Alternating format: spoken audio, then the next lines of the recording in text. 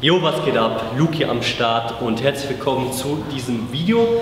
In diesem Video möchte ich mal ein bisschen über eine sehr äh, verbreitete Thematik im Kraftsport sprechen, wo auch viele Leute Probleme mit haben und das ist das Schultergelenk. Ja, spezieller, was heißt spezieller? Eigentlich ein Schrotflintenbegriff ist immer das sogenannte Impingement-Syndrom, wo also entweder Supraspinatus oder Bizepssehne müsst ihr mal im Anatomiebuch nachschauen, wie die verlaufen, äh, eingeklemmt werden unterm Schulterdach. Ist auch nicht ganz so wichtig. Wichtig ist halt zu verstehen, okay, ich übe ähm, Übungen aus und die verursachen Probleme. Ja, egal, ob ich jetzt Kraftsportler bin und Bankdrücken und Overhead Press trainiere oder ob ich mehr Richtung äh, Körpereingewichtsübung gehe und Calisthenics, habe ich halt Klimmzüge, Liegestütze und Dips. Ja, und diese Übungen, die haben alle eine Sache gemeinsam. Ja, sie finden alle in der sogenannten Sagittalebene statt. Ja, das heißt, ich drücke eine Sache mit beiden äh, Gliedmaßen gleich weg ja, und habe halt auch eine sehr, relativ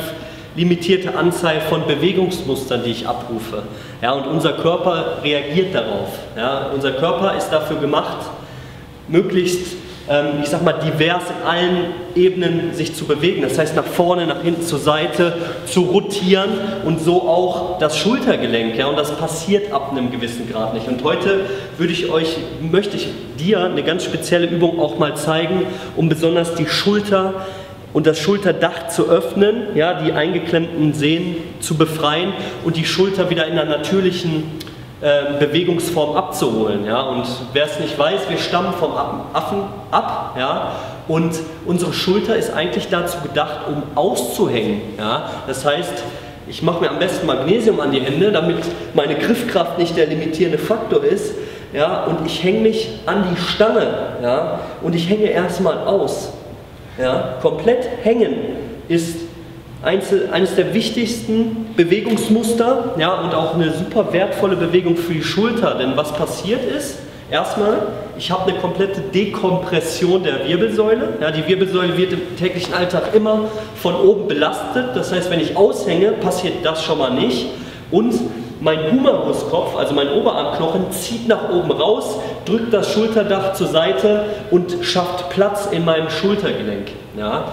Deswegen ein Tipp an euch, vorm Training, nach dem Training, hängt eine Minute aus, ja, oder hängt auch mal zwei Minuten aus oder vier Minuten und dann unterteilt in zwei Sätze und gibt eurer Schulter dieses Bewegungsmuster zurück. Ja. Das ist mein erster Tipp für euch. Ähm, Im nächsten Video spreche ich jetzt über ein paar äh, technische Variationen des Hängens. Ein paar, es, es, gibt so, es gibt passive und aktive Möglichkeiten zu hängen. Darüber spreche ich im nächsten Video. Also vergiss, vergiss nicht zu abonnieren, Daumen nach oben zu geben und deine Fragen in die Kommentare zu schreiben. Und wir sehen uns im nächsten Video. Hau rein. Ciao. Dort, wir weiter. Genau. Immer eine Bizeps Curl mal rein. Ja. So, jetzt kommt nämlich der Vorteil bei dem Aerosol, da ist ja keine Rolle. Jetzt kann der den, den Biceps Curl auch unilateral machen. Guck mal hier, einseitig zieht er den rein. Und das ist natürlich ein wahnsinniger Vorteil gegenüber dem äh, Thorax-System. Ich kann also jetzt sehr schön auch einseitige Übungen machen, halt, wenn ich also Disbalancen habe etc. ohne großartig da